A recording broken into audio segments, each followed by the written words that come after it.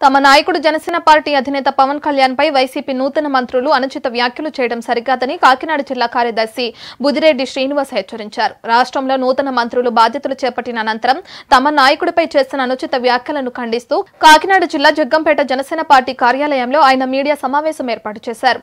ప్రజల కోసం నిత్యం పోరాటం చేస్తూ రైతులను ఆదుకునే విధంగా ఐదు కోట్లు ప్రకటించి కార్యక్రమాలు చేపడుతుంటే విమర్శలు చేయడమే పనిగా వైసీపీ మంత్రులు పనిచేస్తున్నారని దుయ్యబట్టారు. తమ నాయకుడిపై అనుచిత వ్యాఖ్యలు చేస్తే ప్రజాగ్రహం చూడాల్సి వస్తుందని బుదిరెడ్డి శ్రీనివాస్ హెచ్చరించారు. జనసేన పార్టీకి ప్రజల్లో ఆదరణ చూసి ఓర్వలేక వ్యాఖ్యలు చేస్తున్నారని మండిపడ్డారు. రానున్న ఎన్నికల్లో జనసేన గెలుపు తథ్యమని అభిప్రాయపడ్డారు. రెండున్నర సంవత్సరాల్లో వాళ్ళు ఎంత పేరు ప్రఖ్యాతులు అయితే సాధించారో వీళ్ళు ఒకే ఒక్క ప్రెస్ మీట్ తోటి అంటే వీరిలో కొంచెం మంది మాత్రమే ఒక ప్రెస్ మీట్ తోటి వాళ్ళే మంచివాళ్ళు అని చెప్పేసి అనిపించే రకంగా వీళ్ళు పెట్టిన ప్రెస్ మీట్ అయితే కనుక చాలా బాగా నడిపారు. వీళ్ళకి సమస్యలు అంటే వీళ్ళకి ఇచ్చిన మంత్రి పదవులు అంటే కేవలం పవన్ కళ్యాణ్ గారు జనసేన పార్టీ ఆంధ్రప్రదేశ్లో సమస్య కింద వీళ్ళకి కనిపించడం జరుగుతుంది. ఏ?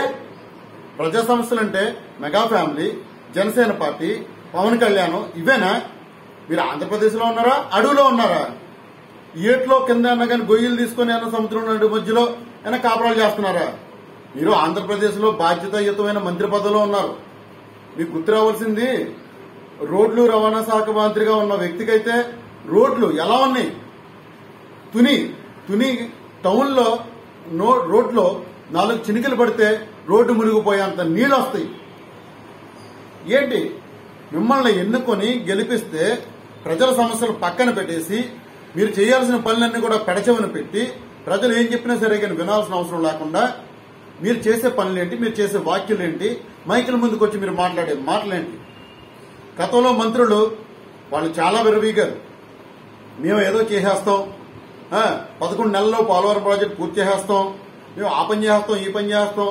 అలాగే జగన్మోహన్ రెడ్డి గారు ప్రస్తుతం ఉన్న ముఖ్యమంత్రి వర్యులు ఆయన ప్రజాక్షేత్రంలో తిరుగుతూ మైక్ దొరికిన దగ్గరల్లా పది మంది కనిపించిన దగ్గరల్లా ఒక మీటింగ్ పెట్టేసి లేనిపోయిన హామీలన్నీ ఇచ్చేసి నవరత్నాలని చెప్తని చెప్పేసి పెట్టేసి ఈయన బొడ్డు దగ్గర సొమ్ము మీద తెచ్చి పెట్టేసే విధంగా ఆయన ఆ రోజు మాట్లాడేసి ఈ రోజు రాష్ట్రాన్ని అప్పుల ఊపిలోకి ముంచేసి ఆయన దోచుకున్న లక్షల కోట్లలోంచి కనీసం ఒక పైసా కూడా వృధా కాకుండా వచ్చే టైంలో మళ్ళీ అధికారంలోకి ఎలా రావాలని ఆలోచన చేసుకుంటూ గదిలో కూర్చొని పరిపాలన చేసే వ్యక్తికి మీరు మద్దతు పలుకుతా మీరు చేసే వ్యాఖ్యలు ఏంటి?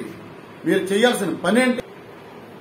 ప్రజలు మిమ్మల్ని నమ్మి మీకు కొన్ని లక్షల ఓట్లు వేసి మిమ్మల్ని గెలిపించి ప్రజాప్రతినిధులుగా ఎన్నుకొని కనీసం ప్రజలకి సర్వీస్ చేయండి మా కష్టాలు తీర్చండి ప్రజల తరపు నుంచి మాట్లాడండి ప్రజా సంక్షేమం కోసం పోరాడండి అని చెప్పేసి మిమ్మల్ని అసెంబ్లీకి పంపిస్తే మీరు పదవుల కోసం పోకుళ్ళాడుతూ మీ యొక్క స్వప్రయోజనాల కోసం మీరు ఎదుటి వాళ్ళు సంఖ నాకుతూ మీరు పదవులోకి వచ్చి రావటంగానే గొప్ప పొందాలని మెప్పు పొందాలని మీ కంపెనీ వైఎస్ఆర్సీపీ కంపెనీ యొక్క వానరు